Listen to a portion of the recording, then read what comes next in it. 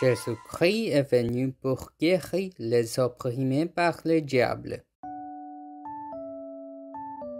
Vous savez comment Dieu a déversé une onction de Saint-Esprit et de puissance sur Jésus de Nazareth qui allait de lieu en lieu en faisant le bien et en guérissant tous ceux qui étaient sous la domination du diable, parce que Dieu était avec lui.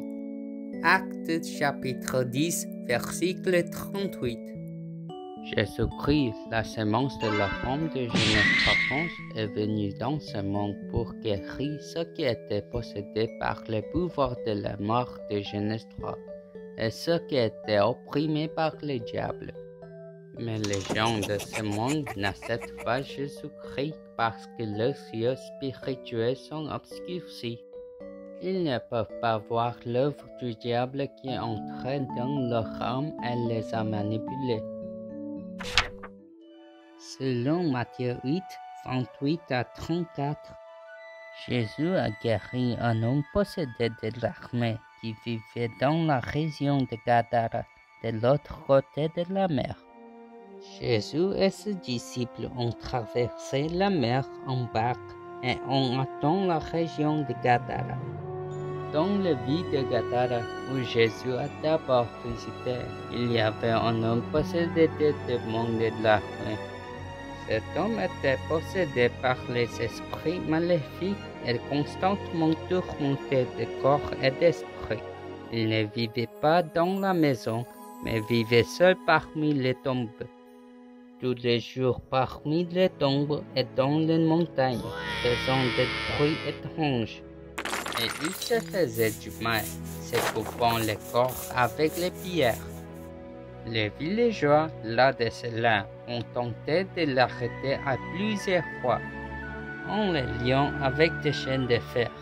Mais cet homme a également brisé toutes les chaînes. Ni personne ne pouvait arrêter l'homme possédé par un démon dégoûtant. Rien de personne pouvait passer devant lui. Mais lorsque l'homme a vu Jésus dans le tombeau au loin, il a rapidement couru vers Jésus et tombé sur ton visage, et il a crié d'une voix forte et dit, Jésus, fils de Dieu très haut, crois-tu avec moi S'il te plaît, ne me dérange pas? Alors Jésus le lui commanda, Vous sales démons, sortez de cet homme. Et Jésus a demandé, Quel est ton nom Le possédé répondit, Je m'appelle l'armée parce que nous sommes nombreux.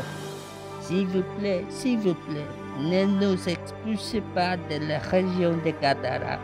Au même moment, un grand troupeau de 2000 porcs mangeait au pied d'une montagne près de la plage.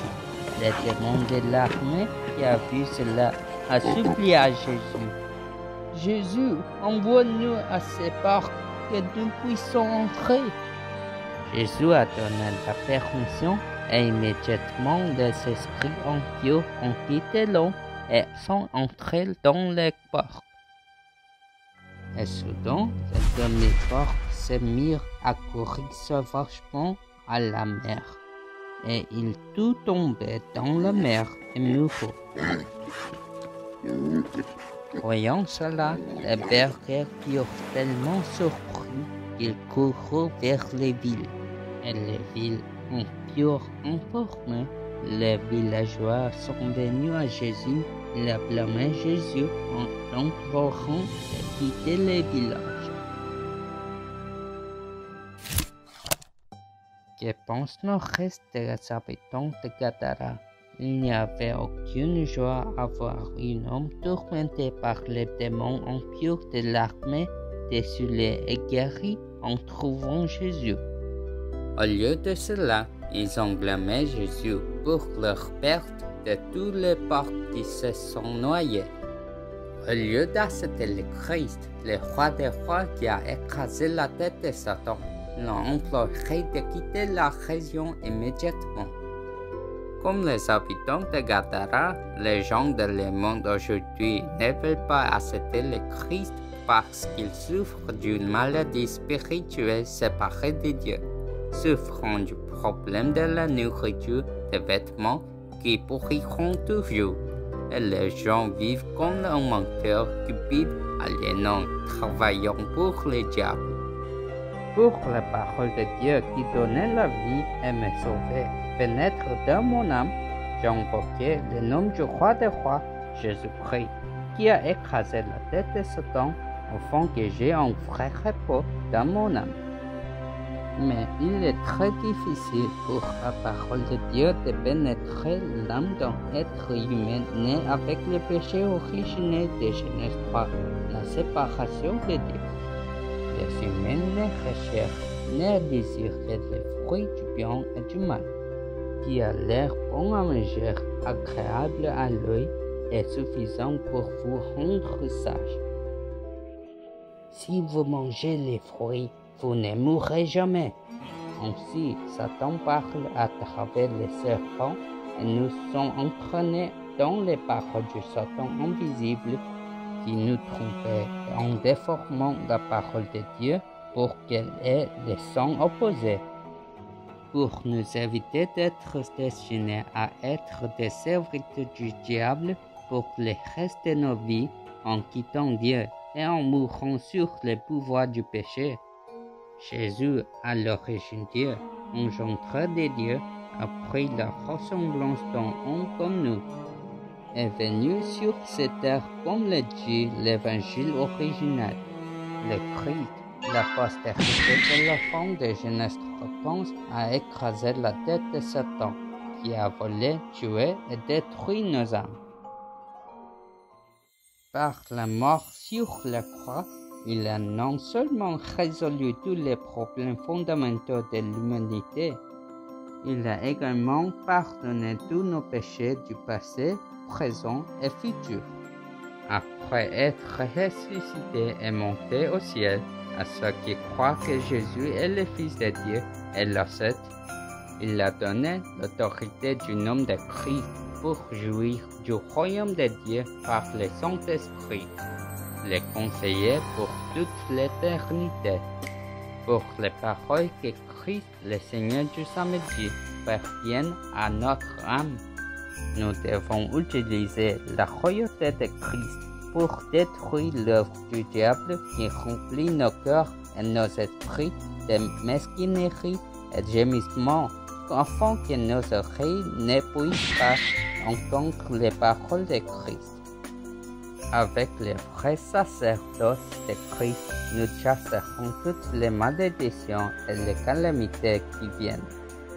De plus, en utilisant la vraie puissance prophétique du Christ qui a brisé les œuvres du diable, nous devons toujours vivre comme les soldats dans la bataille spirituelle qui est parfaite pour nos corps.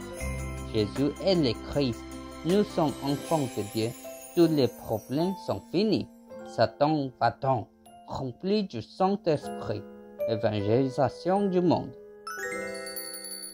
Aujourd'hui, à présent, immédiatement, rejetant le nom du Christ maintenant, nous empêchons de faire les combats spirituels, disant, je ferai les combats spirituels plus tard je peux invoquer le Christ démon. Il y a un démon qui nous manipule pour vivre comme nous voulons, indépendant de Christ. Arriverons-nous mieux ensemble en faisant la confiance à la parole de Dieu maintenant? Fortifié par le Saint-Esprit de Dieu, le Christ, si c'est pour chasser l'impureté en moi, le royaume de Dieu viendra sur moi Donnez-moi la plénitude du Saint-Esprit afin que je puisse les chasser. Nos enfants doivent ouvrir leurs yeux spirituels pour voir ce monde qui n'accepte pas le Christ. Et dans notre combat spirituel quotidien contre le monde et Satan, nous devons donner le Christ à tous les hommes souffrant sous le contrôle du diable dans 237 pays à travers le monde. Je vous bénis pour être les sommets spirituels de l'évangélisation mondiale qui tout sauve. Dieu Tout-Puissant, Jésus-Christ est venu dans ce monde pour guérir ceux qui étaient sous le pouvoir du diable à cause du péché originel de Genèse 3, qui les a poussés à vous quitter. Merci de m'avoir fait accepter Christ comme mon sauveur et de commencer avec l'identité et l'autorité de son Fils qui reçoit le pardon des péchés chaque jour. Parce que je sais que le diable qui me contrôle est à l'intérieur, je serai victorieux dans la bataille spirituelle qui détruit du diable avec Genèse 3.15. Le Messie, le nom du Christ, et je deviendrai le sommet spirituel qui sauve les 237 pays à travers le monde avec l'Évangile. J'ai pris au nom de Jésus-Christ. Amen.